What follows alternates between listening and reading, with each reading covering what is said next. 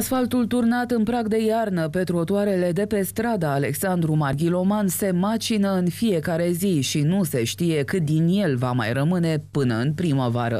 Așa e, uite ce iau eu.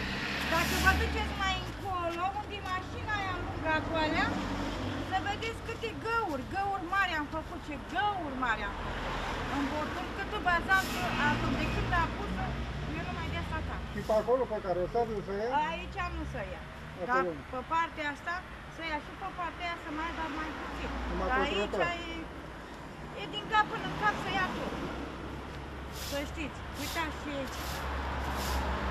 Deci aveți de treabă până să să ajunge la să-l luați tot în asfaltul, nu? Asta este ce mi-a ordonat șeful aia fac. Sunt uh, unele probleme undeva aici în uh, apropiere de intersecția cu strada Clemenței. De fapt, este vorba de ultimile uh, bucăți de trotuar ce au fost asfaltate aproape de iarnă, când temperaturile erau foarte scăzute. Nu ne puteam permite să lăsăm trotuarul neasfaltat pe durata iernii, însă, având în vedere că acel strat de asfalt nu a fost corespunzător, el a fost scăzut din situațiile de lucrări. Anul trecut, societatea Urbiserv a folosit în premieră o nouă rețetă pentru ca asfaltul să reziste mai mult în timp. Din noua rețetă a fost eliminat agregatul de râu, care a fost înlocuit cu agregat de granit, adus de la cariera Revărsarea din județul Tulcea. Prețul noului asfalt a crescut corespunzător, dar ori rețeta nu a fost tocmai cea potrivită, ori a fost preparată greșit, pentru că asfaltul de pe trotuare se macină rapid. În acest ritm,